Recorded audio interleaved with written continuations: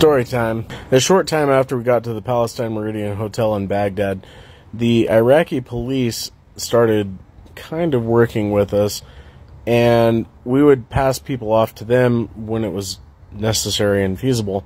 And one of these times, a guy had walked up to our perimeter, and mind you, we didn't have the same kind of perimeters that they did later in the war. This was very, very early on. And so our perimeter that we had set up around the area was nothing more than a few strands of concertina wire.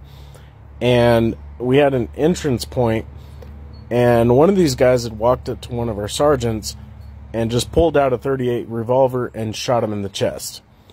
And the the bullet didn't do anything to him. It uh, just knocked him back a little bit, and then he just punched the guy in the face and just crumpled him. Well, when he did, uh, we ended up arresting the guy, and it didn't it didn't do any damage. It just shattered his SAPI plate, and we took the guy POW, and we ended up passing him off to the Iraqi police. Well, shortly after we passed him off to the Iraqi police, um, they took the guy. It was probably ten or fifteen officers.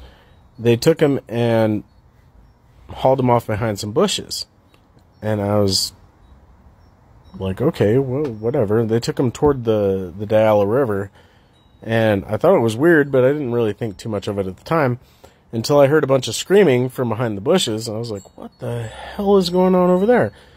And so I brought it up to the lieutenant. I was like, hey, I, th- I think they're torturing that guy over there. And then the Iraqi police started coming out one at a time. And I'll let you use your imagination as to what you think they might have been doing but they were all buckling up their pants and stuff.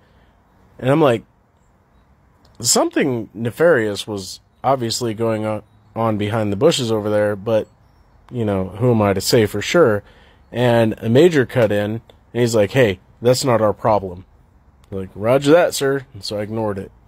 Uh, but I'm pretty sure that that guy got way more than what was coming to him behind those bushes. But yeah, the Americans were the savage ones. Come on, bro.